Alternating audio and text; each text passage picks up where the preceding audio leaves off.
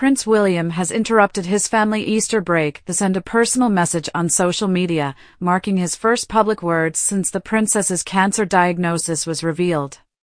The father of three paid tribute to England lioness Rachel Daly as he shared a personal message this afternoon to the official Instagram account he shares with the Princess of Wales. The Prince of Wales, who is currently spending the Easter holidays with Catherine and their children, Prince George, Princess Charlotte, and Prince Louis, paid tribute to the footballer after she announced her retirement. The family have kept a low profile in recent weeks as the Princess of Wales takes time to recover amid rounds of preventative chemotherapy to stop the disease after it was discovered during major abdominal surgery earlier this year.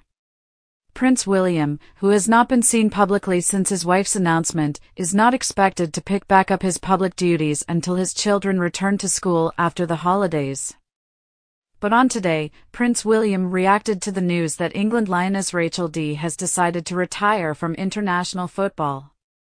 He expressed gratitude for her performances and wished her success with her future goals. This message comes as William balances supporting his family and fulfilling his official duties. He is expected to return to public duties after the Easter break once his children are back in school. William has faced grief and loss throughout his life, from the loss of his mother, Princess Diana, to the recent passing of his grandmother, Queen Elizabeth. The family's guarded approach to media attention likely stems from Diana's own experiences with the press. Despite the challenges, William and Catherine are trying to maintain dignity and privacy amidst the scrutiny of social media. They face the constant challenge of dealing with rumors and speculation, particularly regarding Catherine's health.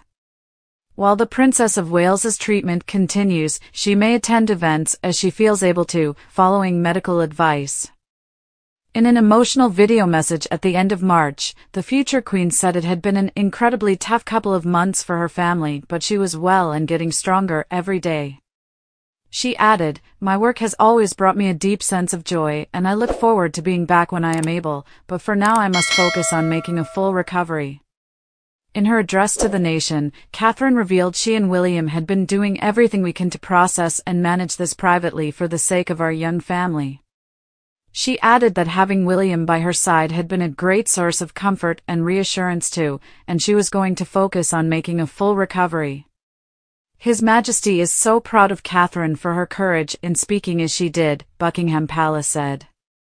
The royal was at the center of conspiracy theories that swirled around online which questioned her disappearance after having abdominal surgery, despite the palace stating that she needed time to recover from her operation at the start of the year. Rumors were sparked by Catherine's absence from a memorial service, although palace sources insist she is recovering well. A former palace aide said the level of interest in Catherine's health was a complex reaction. They explained there was no malintent. But it unleashed a pent-up feeling that people wanted information unfortunately, that's the curse of being a modern royal. While King Charles has also been diagnosed with an undisclosed form of cancer after going for a procedure for an enlarged prostate at the same hospital as Catherine in January.